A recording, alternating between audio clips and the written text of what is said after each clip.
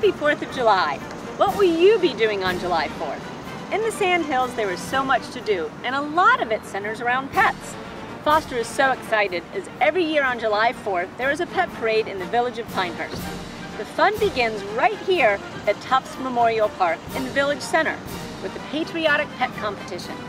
Pets can be registered in one of eight categories for judging and prizes, including Best Dressed, Most Spots, and Most Talented. There is even Best in Parade. We all know Foster would be a great candidate for that. Registration begins at 8.30 with judging and prizes awarded at 9.30. We'll see you there.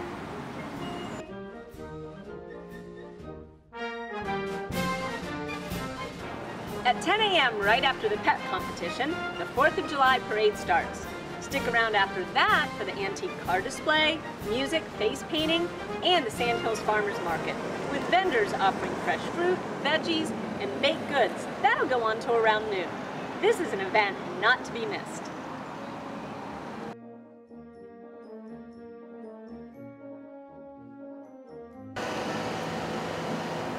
What about fireworks? The 4th of July fun continues in the evening over at the Pinehurst Harness Track with music by a band called Disco Lemonade.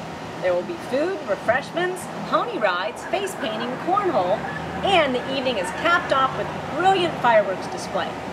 The event begins at 6 p.m. with fireworks at approximately 9.15, but the gates will open at 4 p.m. for parking and the beginning of all the fun.